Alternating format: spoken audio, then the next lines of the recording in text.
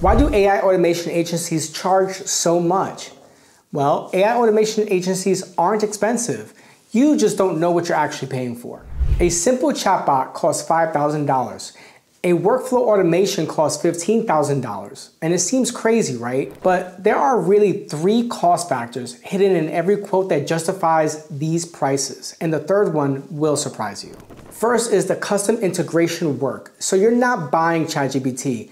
You're paying engineers to connect five to 10 different systems. We're talking your CRM, your database, APIs, security layers, and that's 40 hours minimum at about $150 per hour. But the second cost is even higher. Second is your ongoing maintenance and debugging.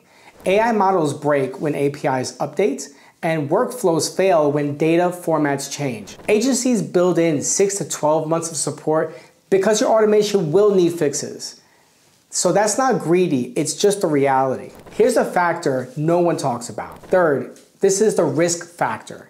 When automation fails, someone loses money. Agencies charge premium because they're assuming liability for your business processes. One failed automation can cost you $50,000 in lost revenue. They're insuring against that.